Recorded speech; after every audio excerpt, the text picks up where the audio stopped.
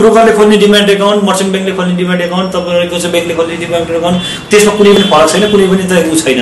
होइन यस्तो छ तपाईँको अब अहिले तपाईँको सबै मेकानिजम चाहिँ ब्रोकरको जस्तो डिमान्ड एकाउन्टको कुरामा चाहिँ अब अहिले अनलाइन सिस्टम आयो पहिला जस्तो हजुरको चाहिँ चेक लिएर चाहिँ सबै उ गर्न पर्ने चाहिँ ऊ चाहिँ छैन। त्यही भएर हजुरको पोइन्ट अफ कन्ट्याक्ट हुन्छ नि। तपाईँलाई कुन ठाउँमा जाँदा चाहिँ आफ्नो कन्भिनियन्स हुन्छ। किनभने ब्रोकरले खोल्ने डिमान्ड एकाउन्ट मर्चेन्ट ब्याङ्कले खोल्ने डिमान्ड एकाउन्ट तपाईँको चाहिँ ब्याङ्कले खोल्ने डिमान्ड एकाउन्ट त्यसमा कुनै पनि फरक छैन कुनै पनि त ऊ छैन।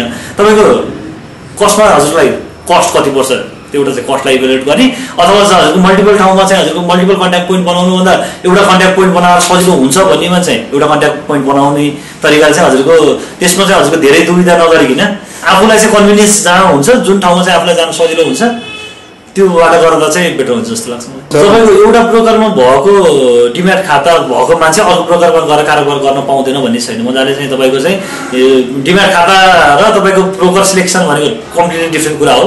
तपाईँको डिम्याट खाता तपाईँले ब्याङ्कमा खोल्नुहोस् ब्रोकरमा खोल्नुहोस् मर्चेन्ट ब्याङ्कमा खोल्नुहोस् तपाईँले जुनै पनि ब्रोकरमा गएर तपाईँको आफ्नो के केवाइसी अपडेट गरेर अ, रमेर चाहिँ तपाईँको चाहिँ अकाउन्ट खोलिदिनुहोस् भनेर बाइसेल गर्न चाहिँ पाउनुहुन्छ।